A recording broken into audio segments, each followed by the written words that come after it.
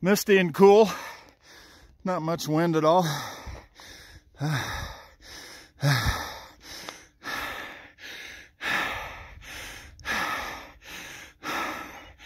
Lots of green breaking through. supposed to be rain and snow in a couple hours. Springtime, Panhandle, Nebraska.